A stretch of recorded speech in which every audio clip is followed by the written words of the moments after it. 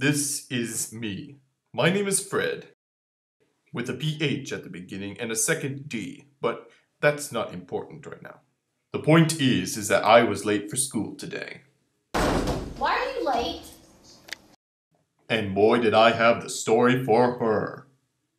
Phredd's, totally legit and non-fabricated, 100% completely true tardy excuse. It had started out as any other normal day had. I said it had started out as any normal day had. Phredd, wake up!